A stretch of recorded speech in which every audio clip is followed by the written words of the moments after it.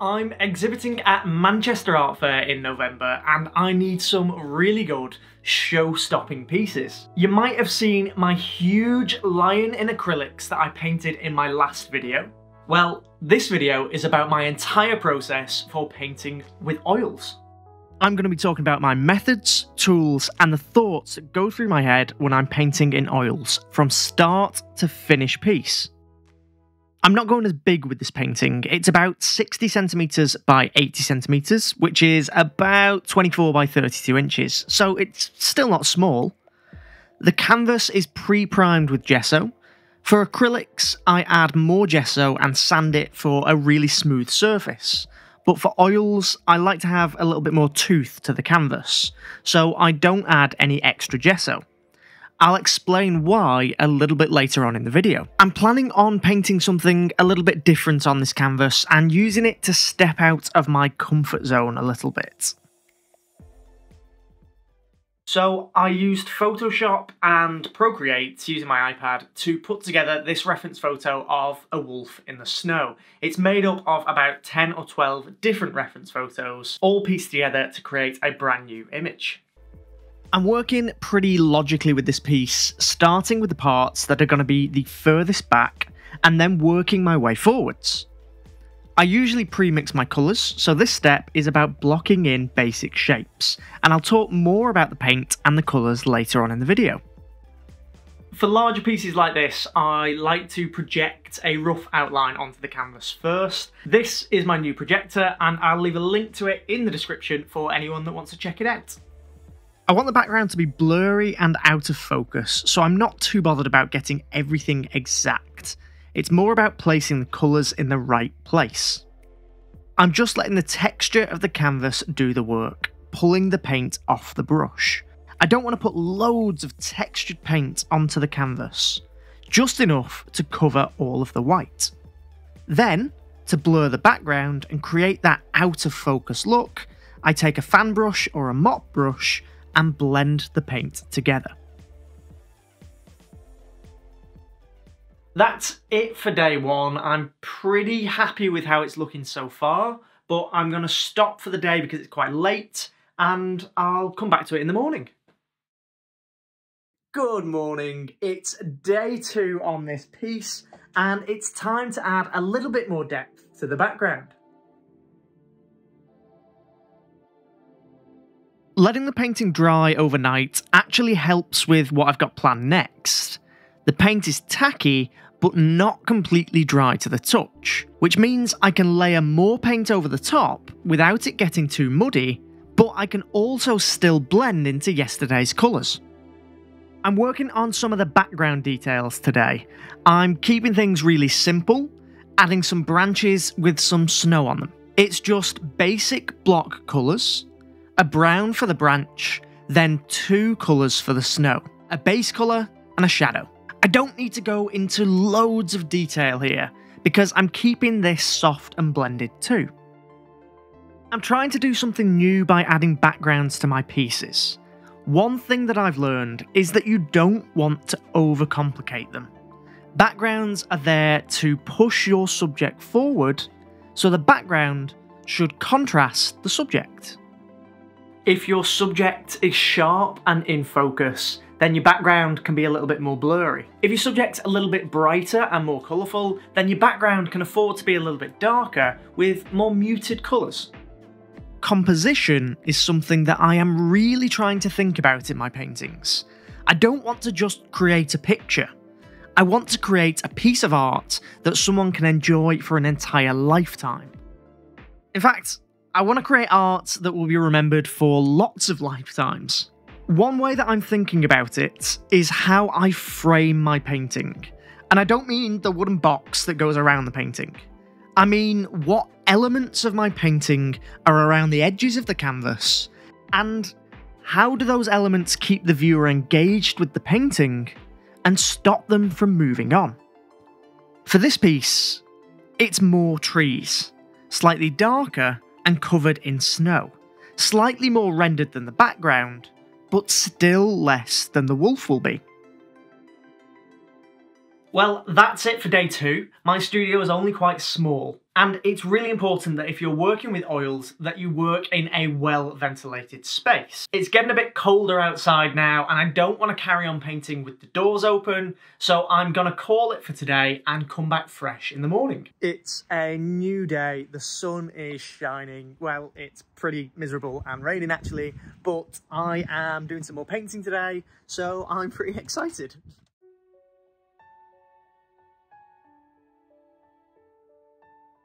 With all of my wildlife paintings, I always start with the eyes. The reason for this is the eyes are the focal point of the picture, and the focal point is the most important part. It doesn't matter what you're painting, choose a focal point for your viewer to be drawn to, and start with that. Make sure as you progress away from that point, the rest of the painting still points the viewer towards it. More often than not, with wildlife art and portraits, the eyes are the source of life, and therefore the focal point of the painting.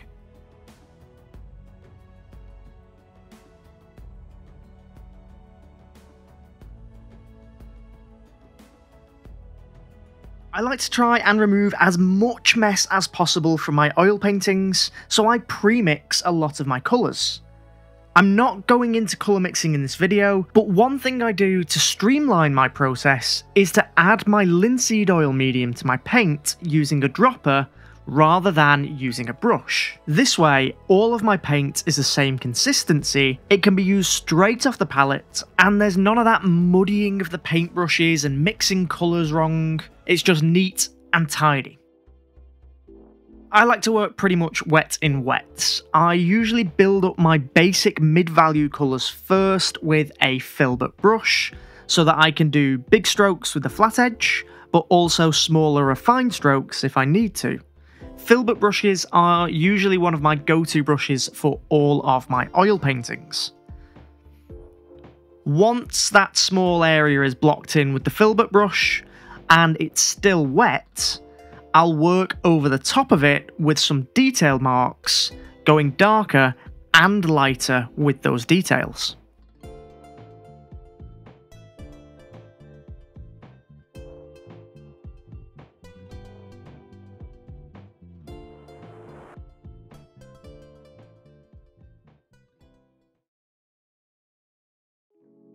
As I move away from the focal point and onto the rest of the face, I'm starting to want a bit less detail, or at least less intentional detail. The best way that I found to do this is by using bigger brushes. I'm still using the filbert brush for the blocking, but I'm using a much bigger round brush for that second pass to add the fur texture.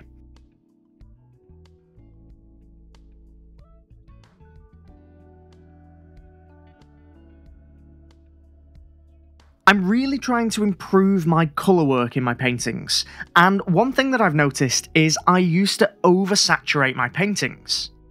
Having saturated colour is great, and it can really make a painting pop, but if it's everywhere, it just makes the painting look a little bit messy and a bit chaotic.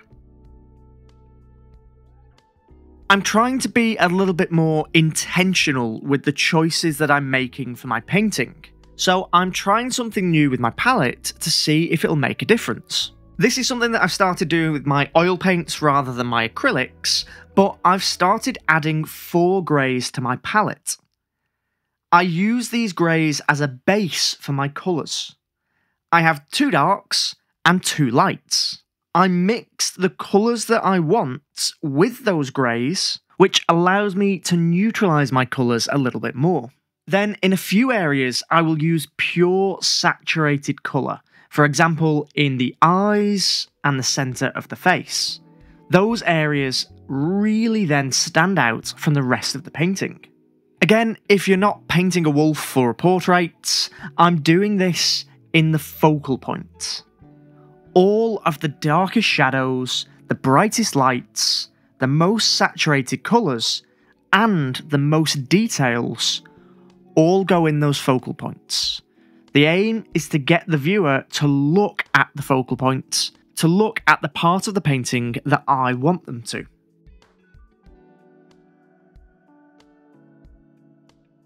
It's the end of day four, and I think I'm making pretty good progress with this piece, but I do need to get a move on. The exhibition is just over a month away, and if I don't finish the painting soon, it's not going to be dry in time to varnish.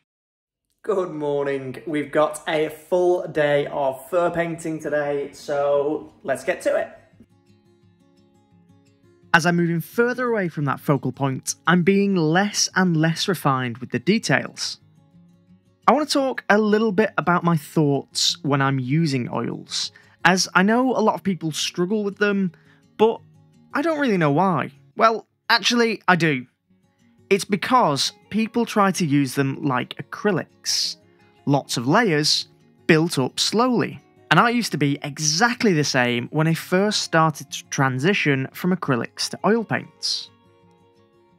What I've learned over the last few months using oils is that oils are exactly the same as soft pastels. If you're comfortable with pastels, the only thing that's stopping you from being able to use oil paints is your physical colour mixing ability. Pastels have that convenience of loads of colours all ready to go in neat little sticks or pencils, whereas oils have a much more limited selection of colours straight from the tube you have to mix your own.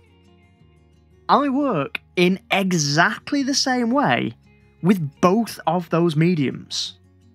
A block in with the mid value colours, and then details over the top with lights and darks. You don't need loads of layers for pastels, you don't need loads of layers for oils. They're both highly pigmented mediums, so they cover your canvas and they both blend really easily. Acrylics are different. You do need lots of layers to blend and create those softer transitions. Actually have a video all about blending with acrylics, which I'll leave a link to in the description and at the end of this video. We're coming up to the end of day 5 now, and I can only really see there being only one more day of painting left on this piece. Good morning. It's day six. Well, actually, technically, day seven. I took the day off yesterday to film and edit a Patreon video. If you're not already a Studio Wildlife patron, what are you doing? Go and check out all of the full-length videos and real-time tutorials that I've got going on over there. And while you're signing up, I'm going to carry on with this painting.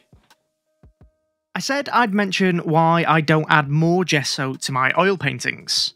Really, it's personal preference. I like the grain of the canvas to pull the paint off the brush. Because I'm pretty much working alla prima or wet in wet, I don't want the paint to slip on a really smooth surface. I want it to stick and be able to take the blocking layer and the detail layer of paint without having to wait for each layer to dry. The final part of the wolf that's furthest from the focal point needs to be knocked back a little bit. It needs to almost merge with the background. This could be done literally by creating really soft edges between the wolf and the background. This works best if everything's still wet. It gives a much more impressionist feel to the painting. I want the back to merge visually, but not literally.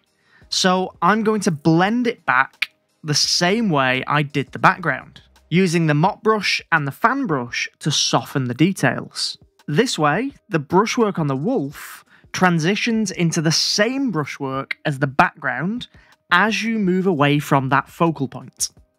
That just helps with the flow of the piece and again really helps guide the viewer to the desired parts of the painting.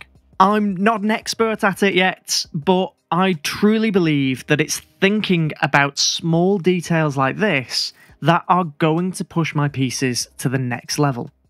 Before we get on to the reveal of the final picture, I just want to show you how I finish all of my oil paintings and get them exhibition ready. I can't actually film this yet as the wolf isn't dry yet, but I use this, which is Gamvar Glossy Varnish. I really like this varnish because you can varnish your painting as soon as it's touch dry. It still allows that oil paint to oxidize and dry. I will leave the painting about a month if not longer before I'll varnish it and even then I need to double check that everything is completely touch dry. I cannot tell you how many paintings I've nearly ruined by not waiting long enough before varnishing them. I'll leave a link in the description for the Gamvar Glossy Varnish so you can go and check it out if you want to.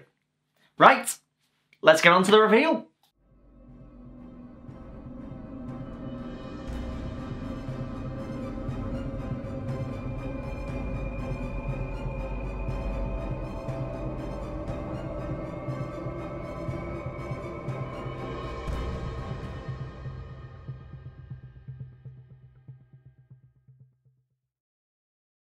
Sometimes oil paints can't be used, or you just might prefer acrylics. Either way, you'll want to check out my video that goes through my 5 essential blending tips for painting with acrylics that'll make people think you've painted them in oils. As always, thank you so much for watching. Please do leave a like and subscribe to my channel, and I'll see you next time.